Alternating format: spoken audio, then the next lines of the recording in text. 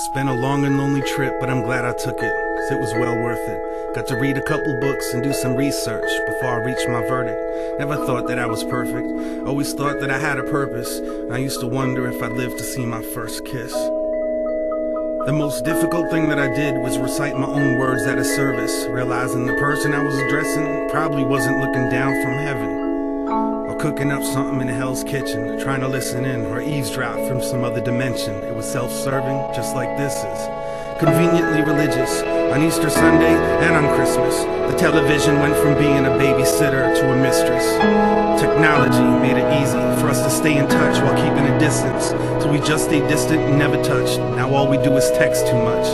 I don't remember much from my youth, maybe my memory is repressed. Or I just spent too much time wondering if I'd live to have sex. I fell in love for the first time in fourth grade, but I didn't have the courage to talk to her. In eighth grade, I wrote the note and slipped it in somebody else's locker.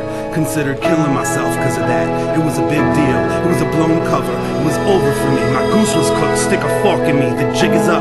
Blew my chances. The rest is history. Our future was torn asunder. It became abundantly clear I was only brought here to suffer. At least I didn't include my name.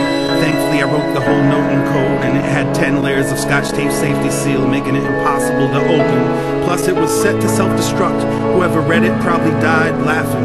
I wonder if they lived long enough to realize what happened.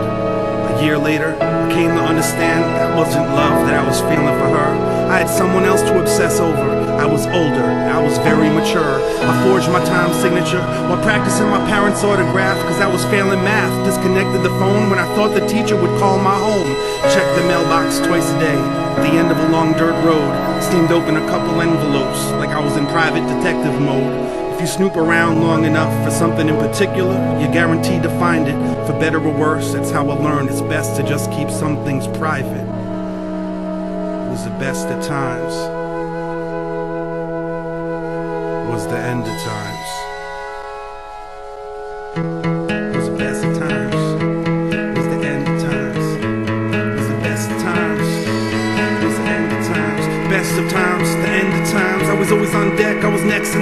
An only child with a pen and pad, writing a list of things I could never have. Walls in my house were paper thin, every squabble seemed to get deafening. My memory serves me correctly and made it a point to avoid and forget some things. Probably to keep from being embarrassed. Never meant to upset or give grief to my parents. Kept my secrets, hidden my talents in my head, never under the mattress. Therapy couldn't break me. Never learned a word that would ensure safety, so I spoke softly. And I tiptoed off, and the door to my room was like a big old coffin. The way that it creaked when I closed it shut. Anxieties peaked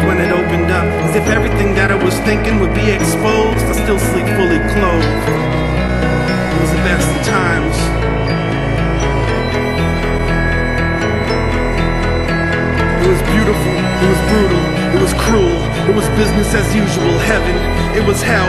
Used to wonder if I lived to see 12. When I did, I figured that I was immortal. Loved to dance, but couldn't make it to the formal. Couldn't bear watching my imaginary girlfriend bust a move with any other dudes. Tone Loc was talking about a wild thing,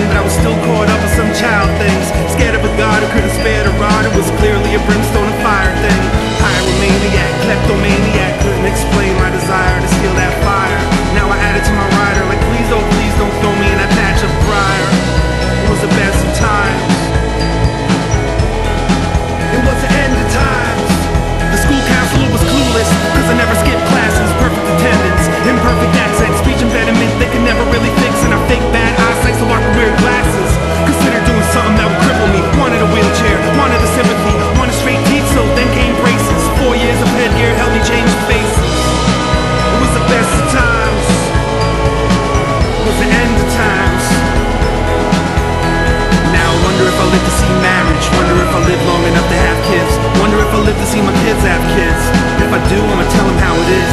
But don't listen when they tell you that these are your best years. Don't let anyone protect your ears. It's best that you hear what they don't want you to hear. Better to have pressure from peers than not have peers. Bear won't give you chest hair. Spicy food won't make it curl. When you think you got it all figured out and then everything collapses, trust me, kid, it's not the end of the world.